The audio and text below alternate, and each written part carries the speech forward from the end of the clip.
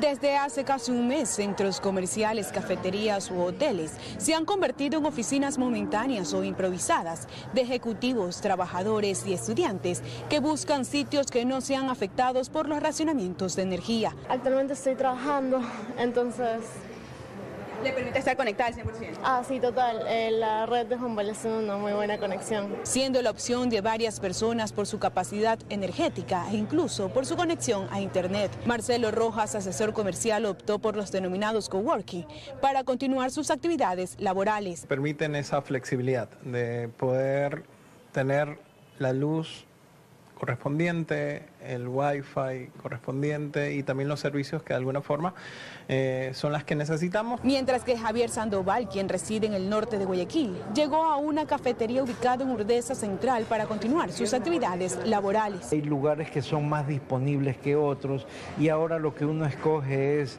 disponibilidad de parqueo seguro y, e internet de buena calidad. Entonces por ahí está el factor diferenciador quizás. Este panorama se visualiza en diferentes puntos de la urbe, siendo la nueva modalidad de trabajo en el país.